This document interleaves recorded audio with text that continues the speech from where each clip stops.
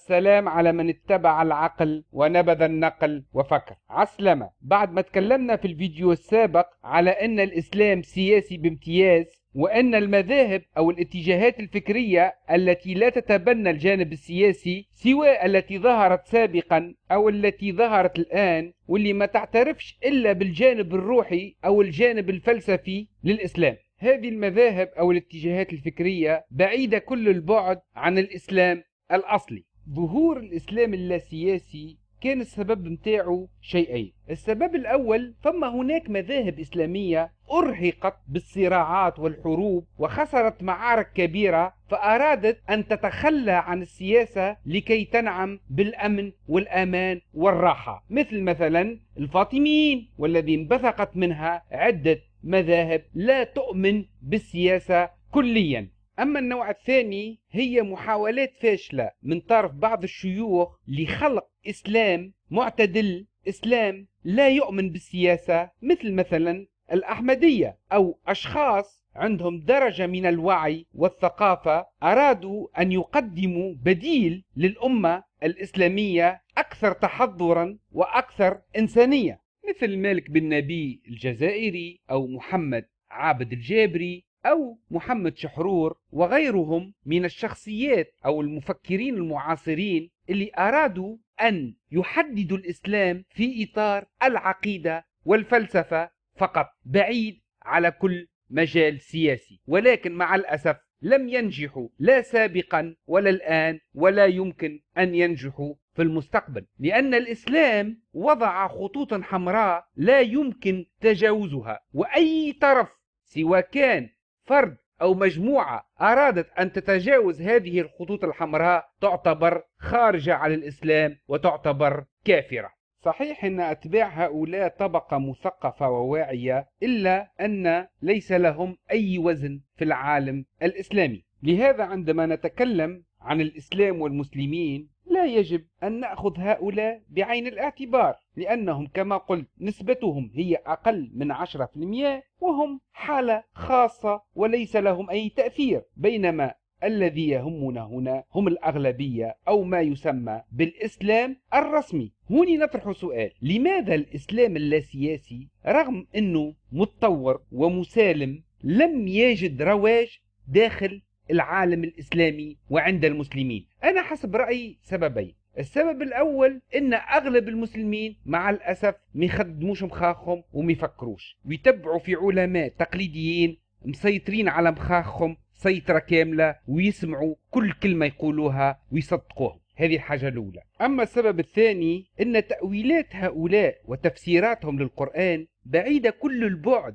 عن النص القرآني ومخالف كليا للتاريخ الإسلامي من جهة وللواقع الذي يعيشه العالم الإسلامي اليوم. لهذا تعتبر هذه المجموعة أقلية وتعتبر مجموعة مثالية منغلقة على نفسها لا تجد أي رواج. لهذا عندما نتكلم عن الإسلام يجب أن نتكلم على الأكثرية وعلى العام ولا نكترث بالخاص والشاذ. إذا عندما نتكلم على الإسلام والمسلمين نقصد التسعين في المية هذوما اللي يتسمى الإسلام الرسمي أو الإسلام الأرثوذكسي. إذا بعد ما عرفنا أن الإسلام في الأصل هو سياسي وأن الإسلام السياسي هو الأكثرية نسأل سؤال واضح. هل هناك إسلام معتدل؟ هذا هو موضوعنا في هذه الفيديو. قبل ما نجاوبوا على هذا السؤال لازمنا نسألوا سؤال آخر. إسلام معتدل بالنسبة لشكون؟ هل بالنسبة الإسلام أكثر تطرف؟ إن كان السؤال هذا نعم هناك إسلام معتدل وهناك إسلام متطرف.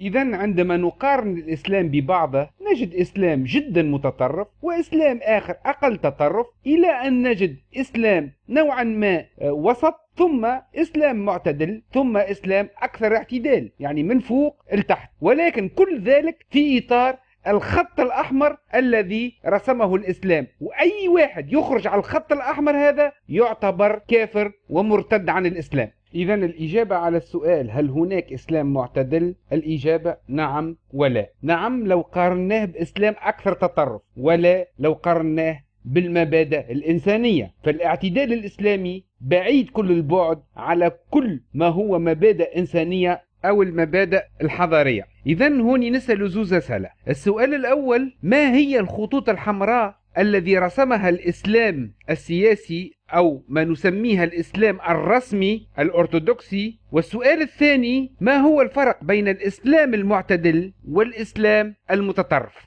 أما الإجابة على السؤال الأول ما هي الخطوط الحمراء الذي وضعها الإسلام؟ هي أن لا يجوز الاجتهاد فيما فيه نص واضح في القرآن وفيما هو متفق عليه من أصول دين وحدود وغيرها من القواعد الأساسية للإسلام. أما ما هو مستحدث أو ما هو مختلف فيه يمكن الاجتهاد فيه وإعطاء الرأي. وضع هذه الخطوط الحمراء بالنسبة للشيعة وللسنة كانت تقريبا في نفس الوقت تقريبا في القرن الرابع للهجري.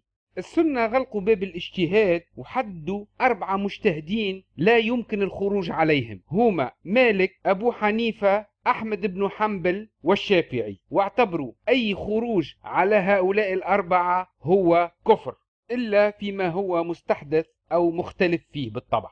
ونفس الشيء بالنسبة للشيعة بعد غيبة الإمام المهدي متاعهم الإمام الثاني عشر الغيبة الكبرى سمحوا بالاجتهاد في الأمور المستحثة والحاجات اللي هي لم يجزم فيها الأئمة متاعهم الاثنى عشر. إذا الإسلام السني والشيعي منذ قرابة ألف سنة وضع الخطوط الحمراء التي لا تسمح له بالتطور وحكم على نفسه بالإعدام.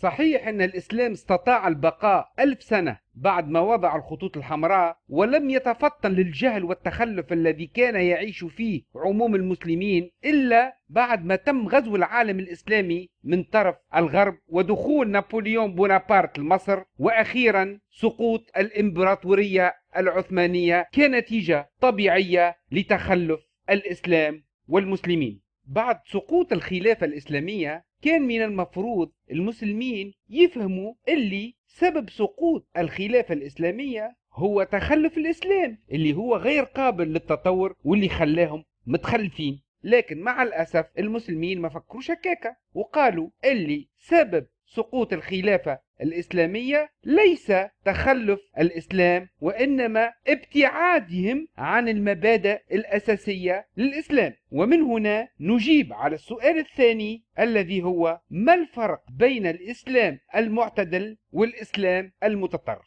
ما هو الفرق بين الإسلام المعتدل والإسلام المتطرف؟ لكي نجيب على هذا السؤال يجب العودة إلى التاريخ لفهم ذلك. نحن نعلم أن محمد منذ أن أعلن دعوته استعمل طيلة حياته أسلوبين مختلفين. الأسلوب الأول الذي يطلق عليه المرحلة المكية الذي هو أسلوب يمكن أن نسميه معتدل ومتفتح وقابل للنقاش والحوار ومسالم وغير مستعمل للعنف وقابل للتعددية. أما الأسلوب الثاني الذي هو أسلوب المدينة الذي هو أسلوب مغاير كليا وأسلوب متطرف منغلق غير قابل للنقاش والحوار ومحارب ومستعمل لكل أنواع العنف المفرط الذي انتهى بفتح مكة. من هون نفهم أن الأسلوب المعتدل والأسلوب المتطرف يستمد وجوده من عمق الإسلام. وقد مارس محمد الأسلوبين واعتبر محمد أن الأسلوب المعتدل ما هو إلا مرحلة متقدمة تسبق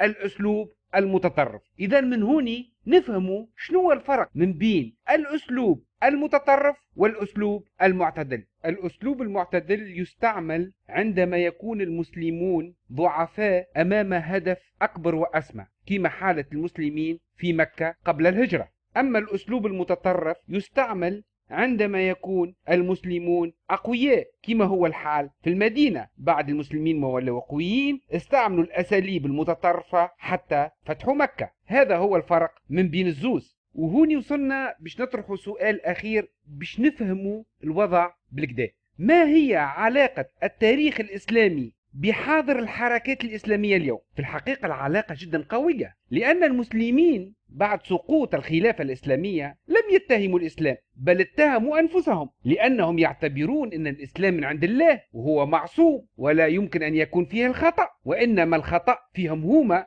اللي ابتعدوا على الإسلام الحقيقي والصحيح. إذا هوني فكروا وقالوا لازمنا نرجعوا ونعملوا كما عمل محمد. على حسب الحديث الأول الذي يقول بدأ الإسلام غريبا وسيعود غريبا كما بدأ فطوبى للغرباء. وعلى حسب الحديث الثاني الذي يقول لا يصلح آخر هذه الأمة إلا بما صلح به أولها. إذا هنا نفهم أن العودة للتاريخ أمر جدا مهم لفهم الحاضر. لأن المسلم مع الأسف منذ 1400 سنة لم يستطيع أن يتحرر ويتخلص من الماضي وما زال يعيش على أمجاد هذا الماضي. أنا أعتبر أن حال المسلمين بعد سقوط الخلافة الإسلامية هو نفس حال المسلمين بعد موت محمد. كيفاش؟ سوف أوضح ذلك. عندما مات محمد انقسم المسلمين إلى قسمين. القسم الأول اللي هما تابعين علي وشيعته اللي أنا نسميهم العاهرات. هذوما يرون أن أسلوب الحيلة والتدرج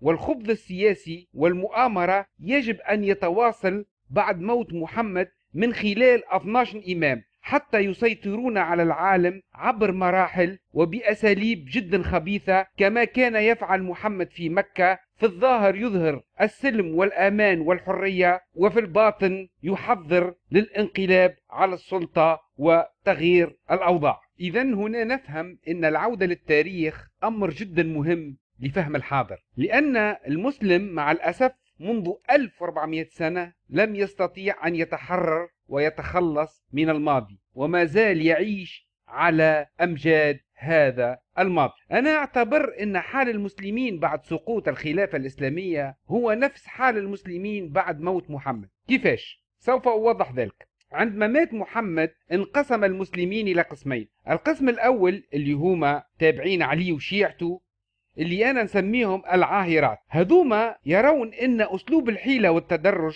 والخبز السياسي والمؤامرة يجب أن يتواصل بعد موت محمد من خلال 12 إمام حتى يسيطرون على العالم عبر مراحل وبأساليب جدا خبيثة كما كان يفعل محمد في مكة. في الظاهر يظهر السلم والأمان والحرية وفي الباطن يحضر للانقلاب على السلطة وتغيير الأوضاع. إذا هؤلاء الشيعة أنصار علي يعتبرون فتح مكة ما هو إلا انتصار صغير من أجل التحضير للسيطرة على العالم كله بالتدريج. فهم كانوا ضد الغزو بالسيف للحضارات الأخرى وكانوا يريدوا يقويوا رواحهم في الجزيرة العربية قبل كل شيء وينشروا أفكارهم بالتدريج وعبر المراحل باش يقواوا بالكدا قبل ما يحتلوا العالم كله. هؤلاء الشيعة قبل سقوط الإمبراطورية العثمانية بدأوا يحضرون للخبث متاعهم وللحيل متاعهم والمؤامرات متاعهم من أجل